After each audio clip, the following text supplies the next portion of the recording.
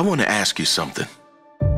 Do you remember that guy who was super successful in all areas of his life? The one who said he will get to it tomorrow. Exactly. No one remembers him because he doesn't exist. He never became successful in any area of his life because he is still waiting for tomorrow. That's a major difference between successful people and unsuccessful people. Urgency. Successful people want it now, so they take action now. Almost everyone else says, I'll get to it tomorrow or when I have time. You don't get given time. You make time. You are the timekeeper of your life. You decide where to allocate your time. Hungry people don't wait. Hungry people want it now. They take action now. They lock in the dates now. They set the goals, the targets, and the deadlines now. Not when they're ready. Not when it's all perfect. Now. If you want it, you push for it. Now. No one on their deathbed wished that they never went after all the things they want. They regret that they didn't go for it. They regret waiting. They regret living the life they deserved because they always put it off for another day. Do not be one of those people. Get hungry.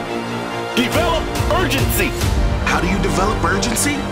In one word, passion. When you truly care about something, you take action. Find that thing that you love so much, the thing that you want so bad, that you must take action now. Ask yourself why and who. Why do you want this? Why do you need to become this person? Why do you have to achieve this thing you want? Who? Who is going to benefit when you achieve this? Who are you doing it all for? Once you know these things, you will not wait for tomorrow. Tomorrow is for people who don't care about their life. Now is for those who want more from life.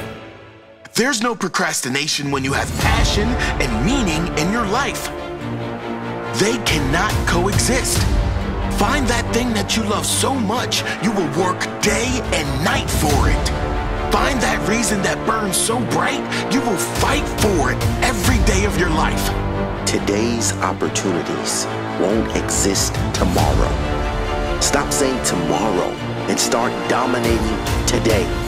Don't wait for the perfect moment. There is no perfect moment. Now is all we have. Today is the day. Now is the time. Do something small today, now, to lock you in to your dream. A small action that makes you committed to the cause. When you do something, you build momentum. And if you continue to take Results that will compound in time. In 10 years' time, you do not want to be one of those people who wish they started 10 years ago. Start now. The future you is begging you to start now. Today's the day. When are you going to stop lying to yourself? When are you going to be honest with yourself? Those who say tomorrow never succeed. There is no tomorrow. Today is the day.